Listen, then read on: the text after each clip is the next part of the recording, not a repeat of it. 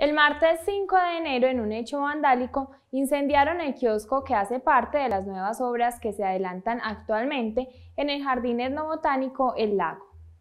Las obras de mejoramiento paisajístico que se desarrollan en este espacio desde hace varios meses presentan algunos retrasos. Según la administración, hay imprevistos en los muros del lago, obras que se realizan con recursos públicos. El municipio de Sonsón eh, rechaza categóricamente pues la situación que se presentó eh, el día de ayer en el sector del lago, toda vez de que eh, un acto vandálico lo que generó fue que se eh, presentara eh, la incineración del el techo del kiosco, una obra pues que en su momento eh, se inició y que aún todavía estaba en, en, ejecución y que lo que buscábamos era pues mejorar las condiciones paisajísticas de este escenario.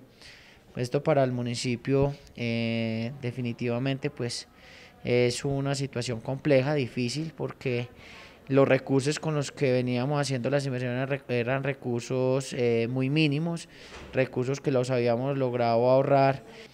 Obviamente, pues en este momento las autoridades y la entidad territorial vienen haciendo las diferentes verificaciones eh, si logramos dar con el paradero de los responsables.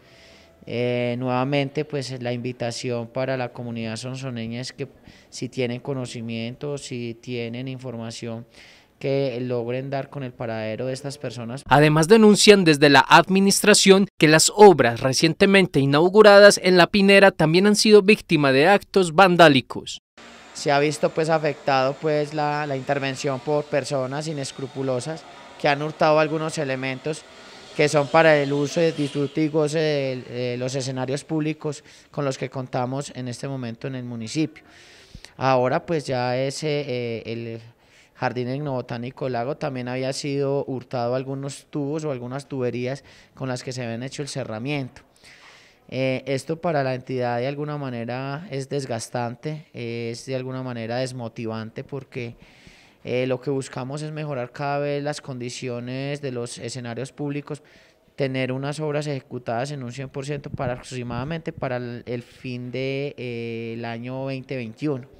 Ya con esto pues ya tocaría nuevamente volver a hacer las gestiones ante otras entidades, eh, nuevamente verificar los presupuestos con los que cuenta la entidad territorial para volver a retomar y poder ejecutar nuevamente las actividades y recuperar lo que se ha perdido pues e, e, en este acto vandálico que fue muy cuantioso. Hay una parte que se logró recuperar, eh, básicamente lo que más se afectó fue el techo. El techo se afectó aproximadamente en un 70-80%. Lo demás es una pérdida total en el cual tocaría nuevamente retomarlo.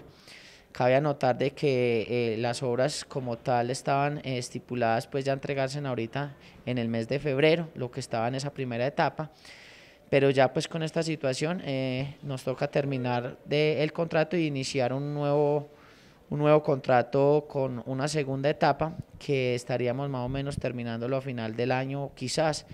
Eh, si no tenemos todos los recursos suficientes nos llevaría a la ejecución hasta el año 2022.